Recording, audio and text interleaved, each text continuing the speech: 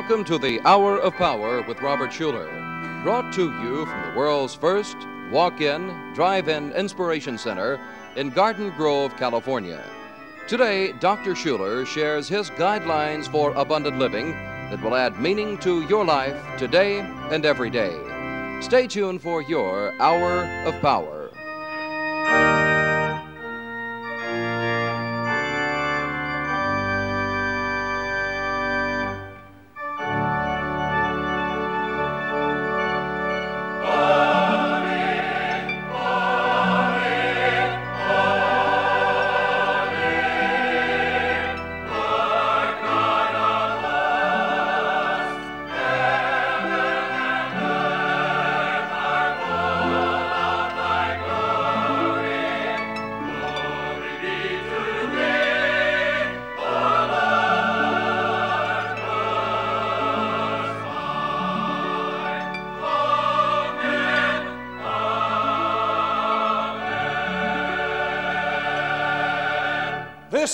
The day that God has made. Let us rejoice and be glad in it.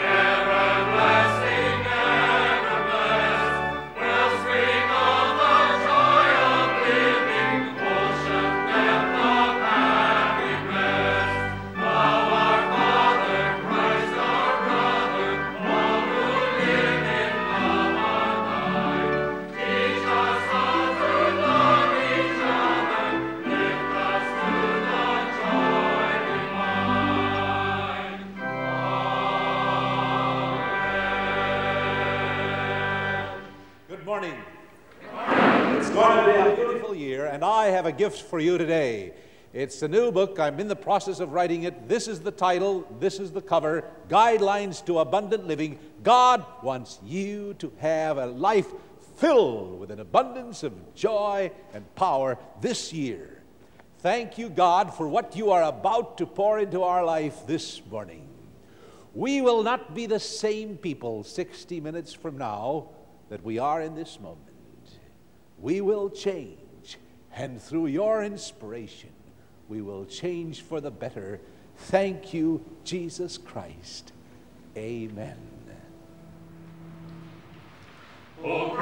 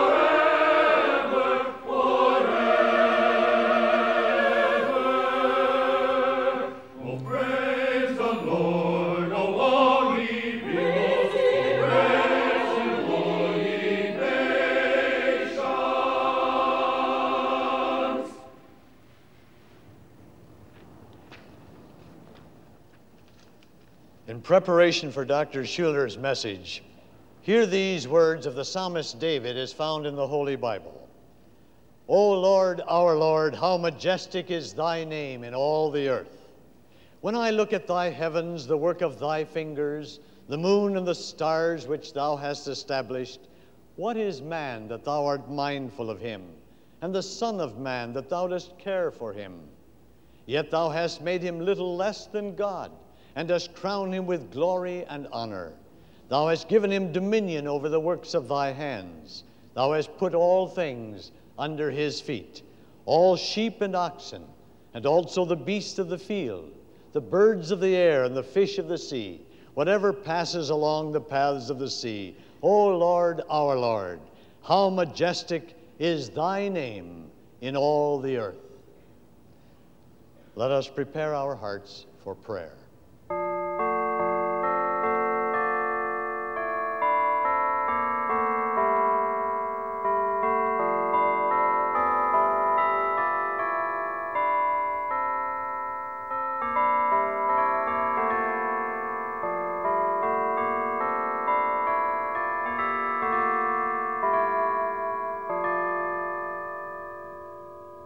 Almighty God, our Creator and Preserver, when earth and air and sky are full of beauty, heralding blessing and honor and praise, our hearts would not be thankless, nor our voices silent. We bless you, O God. Your mercy is boundless, far surpassing our understanding. Your love is infinite far exceeding even the purest of our human lives. From your generous hand, you have showered blessing on our every human need. And in Jesus Christ, you have done a thing greater than any other thing that has ever been done, turning our sorrow into gladness, our pain into victory, making our lives richer, our homes sweeter, and our friendships dearer. We praise you, O God. In the silence of this moment, we bring to you persons both known and unknown to us, some in sunshine, some in shadow, some suffering in mind, others in body or in their vocations, that they and their loved ones may be delivered from fear and anxiety, and in every extremity trust in you. For you have said, Cast your care upon me, for I care for you. Accept this our morning prayer in the name of Jesus Christ our Lord, who taught us when praying to say, Our Father, who art in heaven, hallowed be thy name. Thy kingdom come, thy will be done on earth as it is in heaven. Give us this day our daily bread, and forgive us our debts as we forgive our debtors and lead us not into temptation, but deliver us from evil. For thine is the kingdom, and the power, and the glory forever. Amen.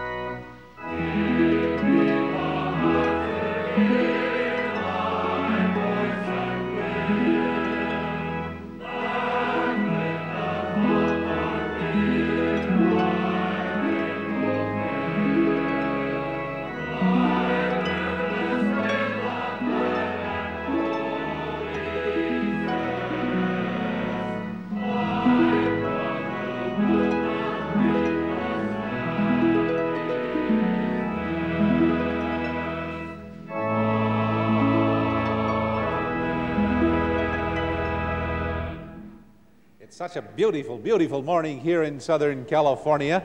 And if you're worshiping with us on television, I want you to see the happiest people in the state. They're right here in this church. And that's because Christ lives in their heart and in their life. Now, let's welcome those who are worshiping in the drive in church by waving at them if you're worshiping out there and shooting a smile through the windshield or through the side window at those worshiping around you. And in the sanctuary, turn around and why don't you greet those that are behind you by turning around, shaking hands, and saying, God loves you, and if you're very brave, add, I love you too.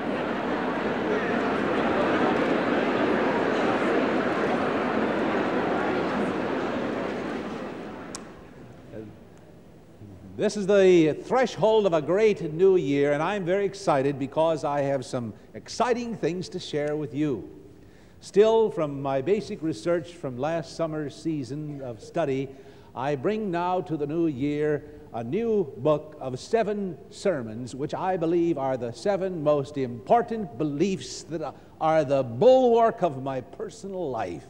If you were to ask me, Schuller, what do you really believe about God? I would put it forth in seven powerful positive statements that I'm putting in this new book entitled Guidelines to Abundant Living. And Jesus said, I've come that you might have life and have it abundantly. What do I really, really believe? I believe that God's presence was before me, it follows after me, and it surrounds me now. I believe that I can enjoy the abundance of God's guidance, wisdom, and presence. That's chapter one in abundant living. Chapter two, I believe that I can not only enjoy God's presence, but I can enjoy God's peace. That the tumultuous, negative emotions that would rob my moment now of joy these negative emotions, fear, hate, guilt, hostility, jealousy, resentment, these emotions can be squeezed out of my life like dirty water out of an old rag, and God can come in and fill me with the positive emotions of love, hope, courage, confidence. God's peace. I believe in it. God's presence. I've got it. Chapter 3 God's power. Power to dream and power to win in life. There are seven chapters. I hope you can be with us in the drive in sanctuary, the walk in sanctuary, or the television congregation for the next seven weeks and invite your friends either to worship with you in the sanctuary, the car, or in your home. And if you're watching or listening, write to us, Hour of Power, and let me send to you this beautiful hard-covered jacket and each chapter as they appear in the seven powerful principles that give you the faith for abundant living. And it'll be a great new year for you, I promise. And then, if you uh, weren't with us last Sunday, we have a beautiful new calendar which we've designed to make your whole life a victorious year. The very cover should be a tranquilizing experience. It's the Good Shepherd statue here in the green pastures and still waters of this church. Every Sunday when you're in the sanctuary, you look out and see it, and in the car, you behold it, and if you're in the television congregation, you see it too. Alongside of this beautiful picture are the words, The Lord is my shepherd. I shall not want. And each month, we have picked out 12 positive, powerful Bible verses, and we connect them to 12 positive thinking statements. And if you will live by these month by month, your life will change.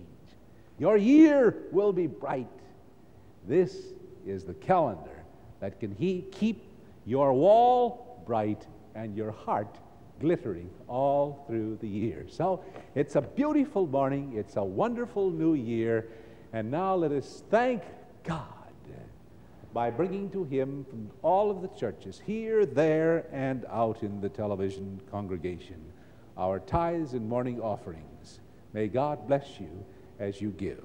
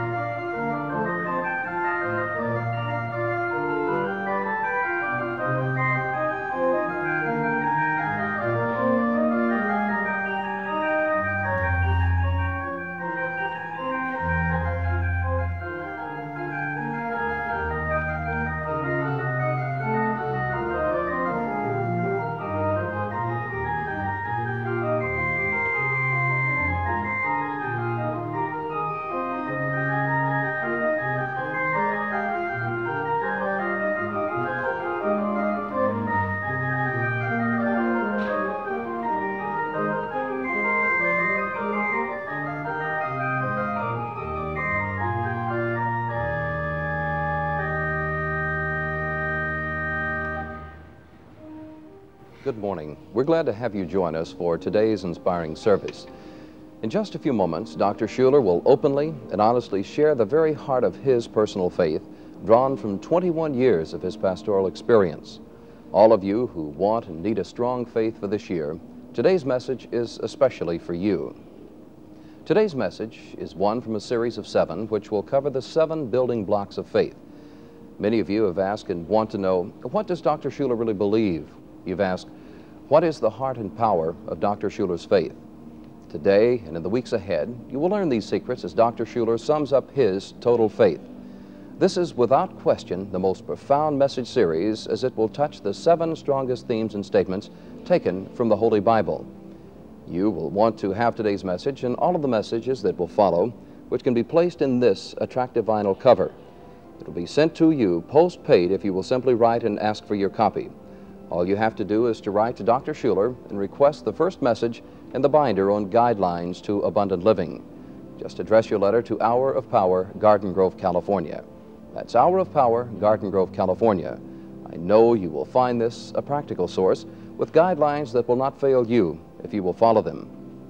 Here is a sure way for an abundant life. Send for your own permanent copy today. And remember to send for your Hour of Power calendar that Dr. Schuller's described. Provides inspiration through the scripture texts and possibility thinking quotations personally selected by Dr. Schuller. The Hour of Power calendar will make the days in this year really count. Write today for your calendar while the supply lasts. That address again is Hour of Power, Garden Grove, California. And now let us return to our service.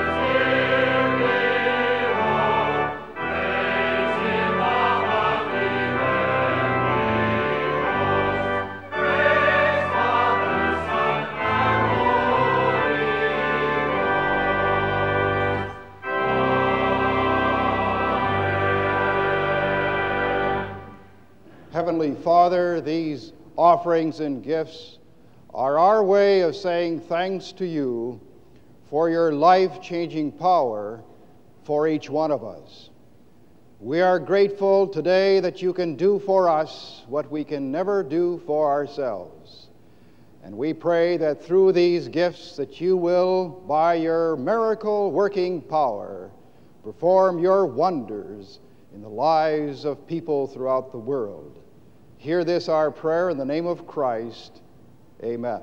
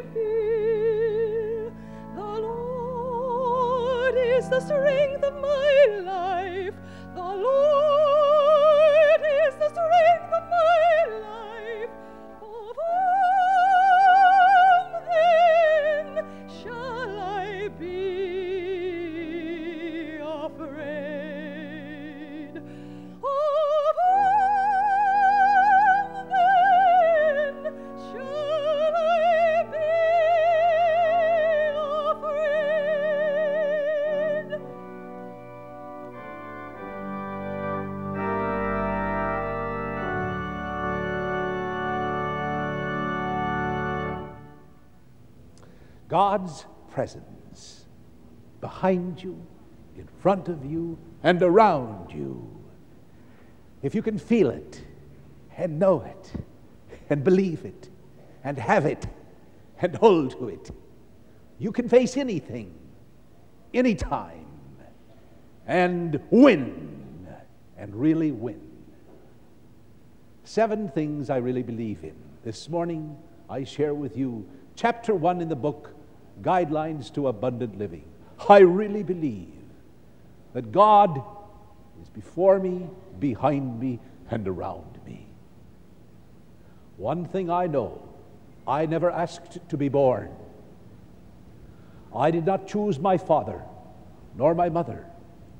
I did not choose my race, nor the color of my skin, nor the language that I learned as a child in my family home. I did not choose the community where I was born and raised. I did not choose the school where I went in the first grade and on through high school. It was not until college that I made a choice.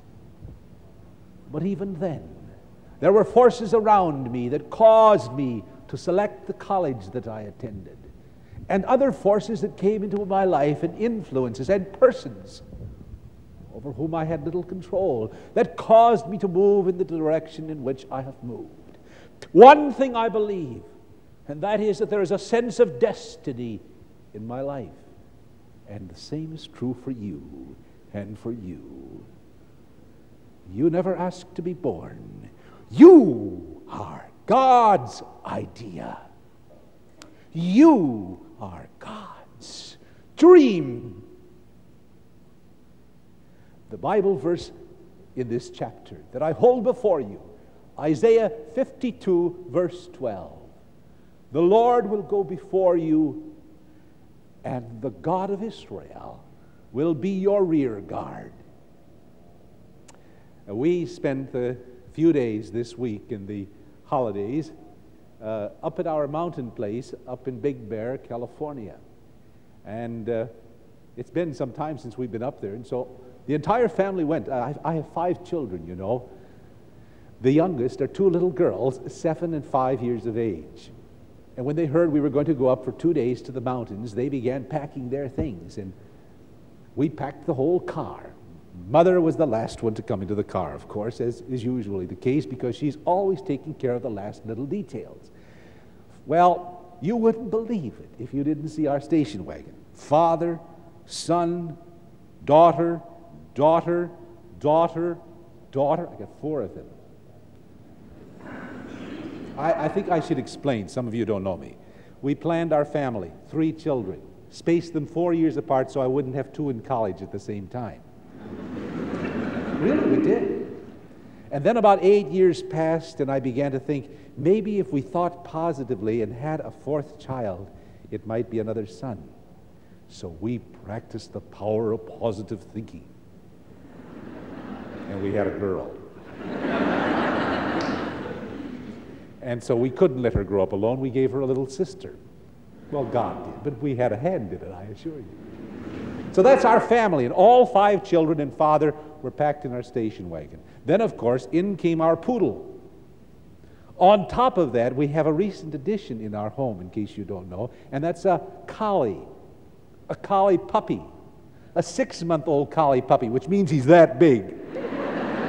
So we all piled in the car, and everybody brought their own suitcases, and then mother came in. And it, there was hardly room for her, bless her heart. And she said, What are those two huge boxes back there? And I said, I don't know. Well, she said, Who loaded the car? I said, We all did a little bit. We just didn't have room for those two big boxes. She looked in them, and inside those two big boxes were the children's toys. The two little girls decided what they thought they should carry with them up to the two days in the mountains. They had three dolls in each one. They had paper books. They had colors. You wouldn't imagine what they didn't pack in their boxes. In one box, they had one of the plastic Bozo the Clown. You know, they're about four feet high when you were all blown up, four feet high, and you punched them. They had Bozo the Clown, half winded, jammed in this one box. We tried to assure them you don't use Bozo the bouncing clown in the snow. We finally got them to unload half of the stuff It took 15 minutes to convince them. They didn't have to drag it all along. Now, here we are at the turn of the years. An old year is past, a new year is coming. How many of you are not planning to carry with you into the new year a bunch of excess luggage? Just a pile of old stuff that you'll never use. It'll only be a drag and a weight on you. Think of some of the old hurts, some of the old heartaches, some of the old griefs. A poet once said, I wish there was some wonderful place called the land of beginning again, where all of our cares and all of our heartaches and all of our poor selfish griefs could be dropped like a shabby old coat at the door and never put on again. Well, there is that land of beginning again, and that land of beginning again is called now. Now drop a lot of those old, unnecessary things that clutter your mind and heart. God gives us a brand new year. I took my two mile hike this morning uh, just as the dawn was breaking. And here in Southern California, the sky was blue, the, the sun came bursting over Saddleback Mountains with a resplendent glory of gold. And the air is sweet and clean. Really, it is. Believe it or not, pure. What a glorious new day. What a great new year. What a beautiful land of beginning again called now. N O W, now. The point is, you didn't ask the sun to rise this morning. You didn't ask for the new year to come. You didn't ask for the new day. God gave it to you. It's His plan, it's His dream. There is a destiny that is in your life more than you know. There is a power and a force that is moving you steadily, surely, steadfastly onward. And it is a good force God. This Bible verse, Isaiah 52 12, the Lord will go before you and God will be your rear guard. What it says is simply this God is your rear guard and God is your vanguard. Now, perhaps there's some that don't understand the analogy here because it does come from a scene of battle, oddly enough. In the time of warfare, in the Israelites' campaigns in the wilderness, you know, and across the promised land, they always had the vanguard and they had the rear guard. The vanguard, they were the scouts that went on ahead to explore the unexplored territory and to report a plan to move by. But there was also the rear guard. As they swept along, the rear guard picked up the pieces, made sure they didn't leave anything valuable behind. And so, out of that context comes this sentence God is our vanguard, and God is our rear guard. Let's begin by looking at God, the rear guard, for instance, because I really believe this with all my heart that God is the rear guard of my life. I keep moving along as you do, sometimes living at too fast a pace, doing things incompletely, and God follows up and finishes what I do in a halfway measure. Be confident of this that God, who has begun a good work in you, will complete it. How many things, if we were to take time and look back at the old year, how many jobs did we do half completed? And we'll never find time to do them completely because there are new projects today and new projects waiting tomorrow. To me, it's a comfort to know I did what I could, the best that I knew how. And if it's unfinished, Schuller, forget it. God will have to finish it. I won't have time. And in that, I find rest. He finishes the unfinished jobs. That's rear guard action. And I see it happening again and again and again. I preach a message, a sermon, and when it's finished, I tell myself, why, Schuller, didn't you make a point of this? Why didn't you remind your friends of this idea? And I feel sometimes a sermon is a half finished job. And people will come to me and tell me that through it all, they found what they needed. And I come to the conclusion that the Holy Spirit of the living God, working in their mind after the message was all finished, and through the rest of the day and the week that followed, finished the task that Schuller did halfway. And that's how I have the courage to keep preaching, frankly, because I know God is at the rear guard, finishing the job and picking up the broken pieces. If we were to look back at the last year and pause to think, we could recall someone that we hurt with a word or a deed, or a deed left undone. Time and distance and communications keep us apart, and we would want to heal the hurt in that heart, but do not know how to make contact. But there's God in the rear guard, comforting the one we cannot comfort, and giving them the, the positive hope that is beyond us. God is that kind of a God. I read a poem once years ago. I cannot recall the title nor the author, but it was a poem about a father who sent his disobedient and unrepentant son to bed. And the little boy cried himself to sleep, and a long time later, the father in the night went to his son's bedroom to check on the boy and he saw the face still covered with tears and the pillow wet and the little boy sound asleep. What the little fellow had done before he crawled in bed and cried himself to sleep, he had gathered on the little table beside his bed some of his treasured toys a little toy knife, a few shells, an old penny, a nickel, and some checkers, and a bag of marbles. And these treasured little toys were his only friends that comforted him as he cried himself to sleep. And unknowingly, to him, Father came wiped the last tear that had not yet dried, and kissed him and said, Good night, my son.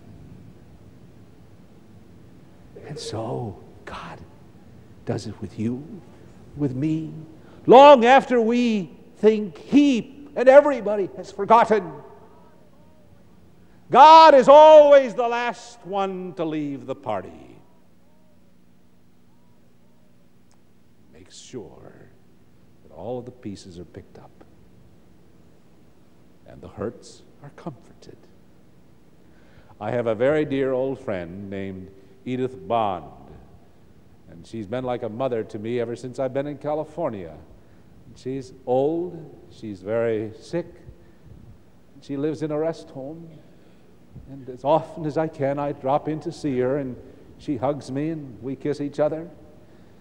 And I always keep saying to her, Mrs. Bond, or I call her Mom, I say, Mom, don't worry. I will never forget you. And her eyes brighten. And she holds me and she says, Do you mean that, Bob? I said, I mean that. I will never forget you. In the Bible, we read, God says, I will never leave you nor forsake you. And I promise you, Mom, I will never leave you nor forsake you. God is that way to me and to you. The rear guard action, always there until everyone else has left the scene.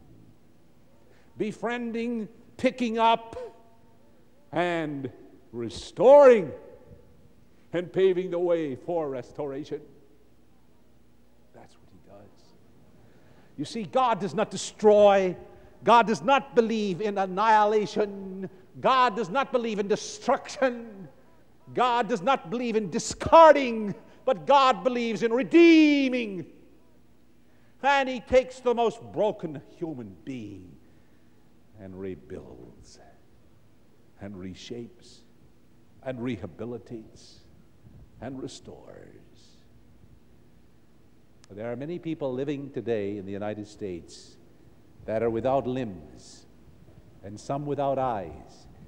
Some of them fought in World War I, and some in World War II, and some in the Korean conflict, and others in the later war. Well, the years pass, and some of these veterans live in hospitals. We have one here, the Long Beach Veterans Hospital. And life goes on. New towns are built, new babies are born, and the masses of people forget these broken bodies that still live. But there are people there that never forget these broken veterans. There are nurses and doctors and fellow patients and chaplains and human beings like members of this church who make it a point to be there in the rear guard action comforting, rehabilitating, restoring. God treats us this way. The Lord is my shepherd, He restoreth my soul. God is the last one to leave, He is in the rear guard.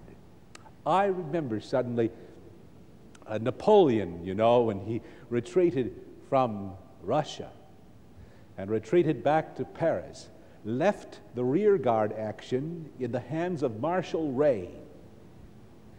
Months passed. The army had all arrived in Paris. The battle was finished. There were some soldiers, lead officers, in an officers' club one night. And they were wondering, whatever happened to the rear guard? And someone said, How about Marshal Ray? Did he ever make it? And someone said, No one ever heard from him again. Apparently, they were all wiped out. And then the door opened, and in the room stepped a gaunt man, haggard, bones over skin, hollow holes in the head for eyes, sunken, blank stares. And he wore the tattered uniform of a French general. And everyone recognized the uniform and stood up and said, Who are you? And he said, I am Marshal Ray. And they gasped and saluted. And one ventured the question, But Marshal, where is the rear guard? And he said, I am the rear guard. There are no others. And as Christians, we look to the cross and we see Jesus Christ there. We see him. Then the rear guard action. He is picking up the pieces, rehabilitating, restoring. God is the rear guard. And in it all, he, he, he does correctly what we do so incorrectly. I recall the time when my little boy, who was little at the time, decided he was going to plant a garden. I knew he was too young, but he was sure he knew how to do it. And so we plowed the ground in our home in Santa Ana, in the backyard. We plowed the patch, and we raked it, and we hoed it, and we harrowed it, and it was all ready for the seed. And then my son took it upon himself to plant the seed.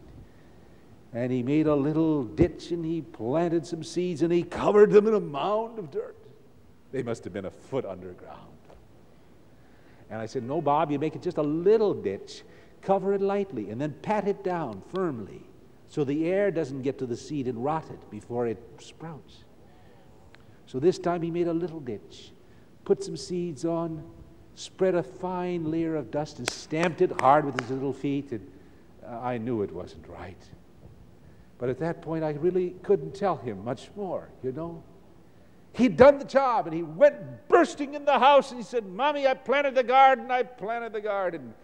And then, forgetting about it, he ran in the street and began playing with his friends on the bicycle and the roller skates and forgot about the job that he had done incorrectly, clumsily, and awkwardly. Well, I went in the backyard and I took out that mound of dirt and I found the seeds and I planted a new little groove and I put them in right and I covered them up and I stamped them down in a nice straight row. And I didn't tell him. But about three weeks later, when he ba- went back there and the carrots were sprouting, he was jubilant and he said, Oh, Mom, look at the carrots, how they're growing. I planted them all by myself.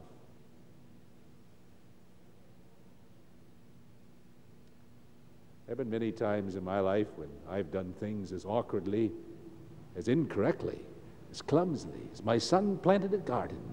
But God followed up, God in the rear guard action. I say to you here at the turn of the year, if you're carrying in an old box a lot of unnecessary clutter, leave it behind. Let God handle it. If you've hurt someone, pray for him and let God patch the hurt. Arthur Gordon is a favorite writer of mine, and once he came to New York City and to meet and interview Dr. Smiley Blanton, who, with Dr. Norman Vincent Peale, founded the American Foundation for Religion and Psychiatry, of which we have a counseling branch here in our Tower of Hope. Competent psychologists who deal with people with problems. Well, Arthur Gordon was waiting in the restaurant for Dr. Blanton to come, and finally the esteemed psychiatrist came, and he could see that Arthur Gordon's face was frowning, and he looked unhappy. And they said, What's the matter, Arthur? And Arthur said, Well, I guess I'm just completely overcome by regret and regrets. If only I had done this. If only I had done that. If only I had done this. If only I had done that. Until finally Dr. Blanton said, Now, just a minute, Arthur. You come with me. And he took Arthur Gordon in his car, drove to his office, pulled out a tape, and began playing it on the tape recorder. And as it started, he said, I'm going to let, you listen to three different people. They're all patients of mine, they're all mentally ill. You'll listen to them. And Arthur Gordon had to sit there and listen to an hour tape recording of three sick people talking to their psychiatrist. When it was finished, Dr. Blanton said, What did you notice that all of the people had in common? And Arthur Gordon said, I didn't notice. Then I will tell you, the psychiatrist said. All of them kept using the phrase, if only. If only. If only. If only. Those words cause sickness. They are poison. Get in the habit of replacing them with these words. Next time I will. Next time I will. Next time I will. These words point to the future, to a new day and a new beginning. They produce healing and health. My friend, this I believe God is picking up the pieces all the time. He is the rear guard. Isaiah 52, verse 12. The Lord will go before you, and the Lord will be your rear guard. Not only the rear guard, but the vanguard. And what is most important, when we reached our mountain home, and we hadn't been there for a while, the long winding road up to our private place was completely inundated in heavy snow. And so you know what happens. Always it's father or the older brother who is the first to walk through the ankle, then knee deep drifts of snow, and some went almost to our hips. And first, myself and my son, who was bigger than I am. And then the little ones would come. They could follow in our footsteps. God is the vanguard going on ahead. You look into the new year, you try to imagine what it holds. I have news for you. God sees problems coming up for you that you're not even aware of. Well, that's good news.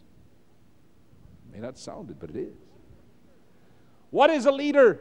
A leader is one who, at the head of a business, a company, a corporation, an institution, or a family, the leader is someone who imagines problems that nobody else imagines are going to hit him. And so, I imagine problems that this church will face five, ten years from now. God sees problems coming your way you don't even know about.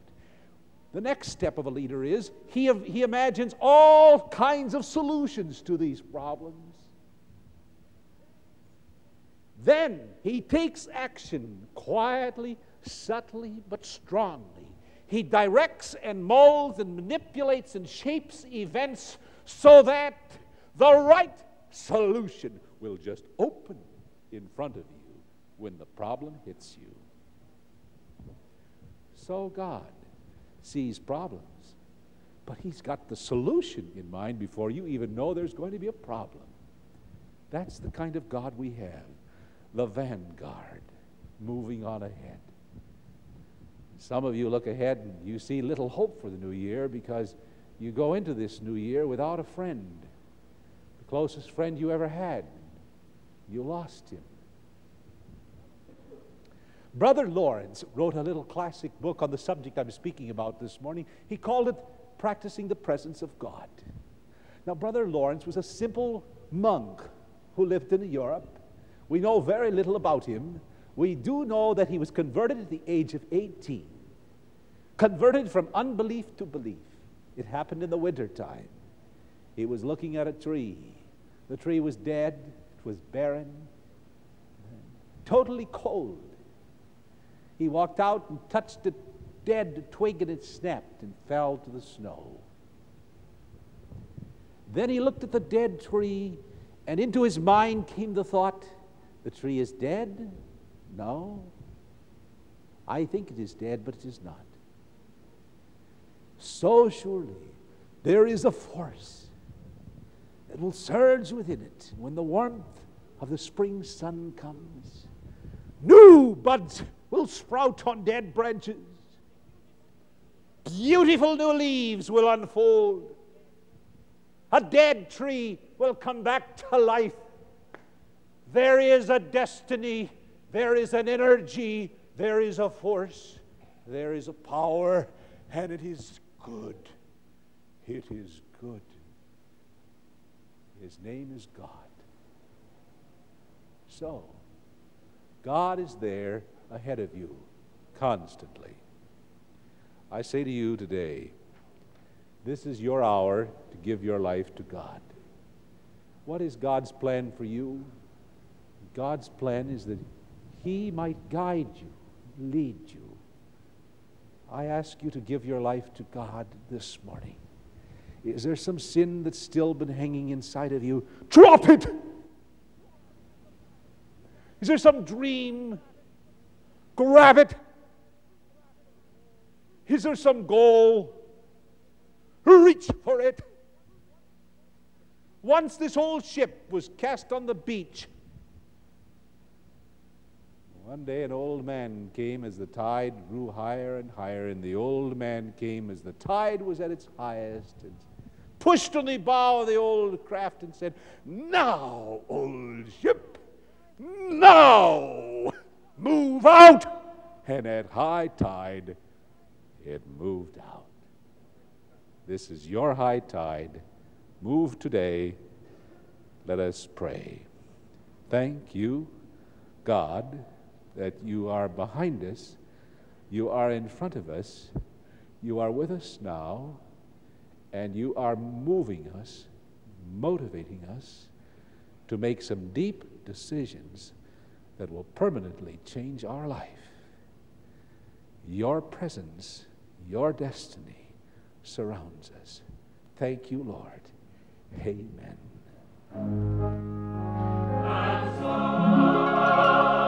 And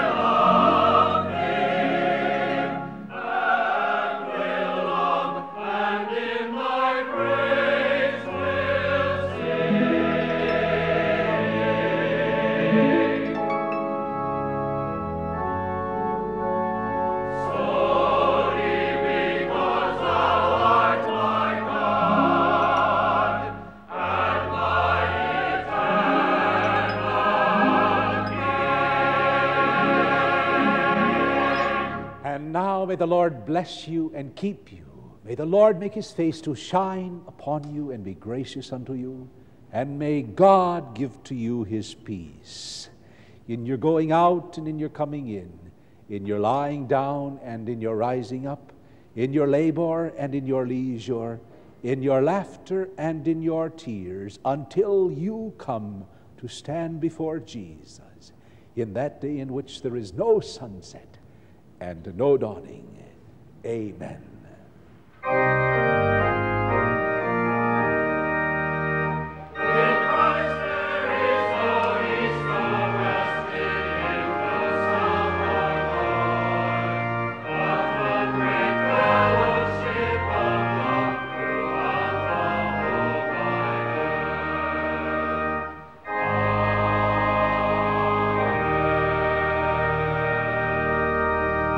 Glad you could be with us today. To receive your copy of Dr. Schuller's message today, simply write. It'll be chapter one in his new book, Guidelines to Abundant Living. What a great way to start a new year by following a sure way to an abundant life. Send for your copy today. It will become a popular book in your house. Perhaps you're one of us that never read to Dr. Schuller before. Well, not, why not make today the day to let him know that you're grateful for his ministry and whatever else you have on your heart that you would like to share with him. He does appreciate so very much every letter that is written. And writing that note will add even more to your life and to his also. It always works that way. That address again is Hour of Power, Garden Grove, California. Just Hour of Power, Garden Grove, California. Write today before you do anything else. And remember to be sure to ask for the beautiful Hour of Power calendar and perhaps one for a friend too. I know you will appreciate this inspiring and helpful planning calendar. We also want to be sure you know about our round the clock telephone counseling service. If you know of someone or if you yourself would like to talk over a need in your life, we have trained telephone counselors on duty night and day. Just dial area code 714 and the letters N-E-W-H-O-P-E. That's 714 New Hope. You will find someone who cares waiting for your call.